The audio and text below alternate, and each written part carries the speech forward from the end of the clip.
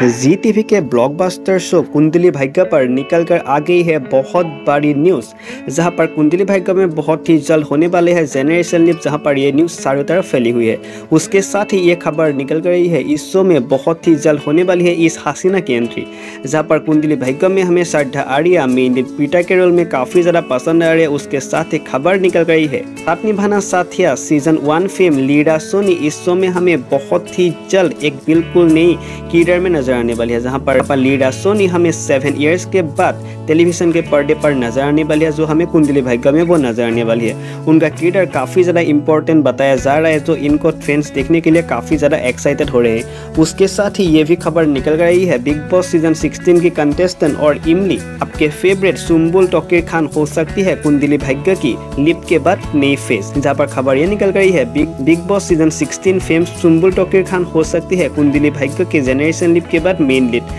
As per the reports, Big Boss Season 16 fame Sumbul Tokir approached for ZTV's Kundali Bhai का post leap अब तक ये confirm नहीं हुआ है कि सुम्बुल टोकिर खान ही इस शो में हमें मेन लीड्स में नज़र आने वाली है लेकिन उनको अप्रोच किया गया है। अगर उन्होंने हाँ बोल दिया तो वो हमें नज़र आ सकती है कुंदली भाई के में जहाँ पर एकता कपूर सुम्बुल टोकिर खान को किसी शो में वो लेना चाहती है कुंदली भाई को ही वो शो हो सकता है। कलर्स टीवी पर एक बिल्कुल नया फैंटेसी सुपर नेचुरल शो शुरू होने वाला है। शो का नाम है बेकाबू जहाँ पर इस शो की कहानी ब्यूटी एंड द बीच से इंस्पायर्ड होने वाला है, जहाँ पर इस शो को लेकर हर दिन ही नई नई खबर निकल कर आती है, जहाँ पर खबर ये निकल कर रही है, इस शो में हमें नितिन भाटिया बहुत ही ज़्यादा इंपॉर्टेंट रोल में नज़र आने वाली है, जहाँ पर यह शो बहुत ही जल्द टेलीविज़न पर दस्तक देने वाला है, खबर ये भी निकल कर रही है। ये शो नागिन सिक्स को रिप्लेस करेगा।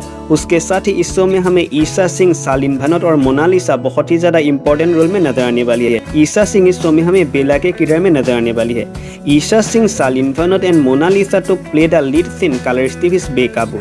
Isha will play the character of Bela a simple girl who is unaware of her power जहाँ पर? इस शो में हमें ईसा यानी बेला बहुत ही ज़्यादा इंपॉर्टेंट किरदार में नज़र आने वाली है, जहाँ पर उनके पास बहुत सारे शक्तियाँ होगी, लेकिन वो अपनी शक्तियों से अनजान होने वाली है। तो कहानी काफ़ी तरह इंटरेस्टिंग होने वाली है, जो बिल्कुल नया शो है, बेकाबू जो हमें कालेस्टी पर वीकेंड्स में नज़र आने वाली है, जो नागिन सिक्स को रिप्लेस करेगा। तो इस शो को देखने के लिए आप कितना ज़्यादा एक्साइटेड है कमेंट्स में ज़रूर बताइएगा। अगर वीडियो देखने में अच्छा लगा चैनल को ज़रूर सब्सक्राइब कीजिएगा। ऐसे ही नए नए अपडेट्स के लिए देखते रहिए एंटरटेनमेंट की बात।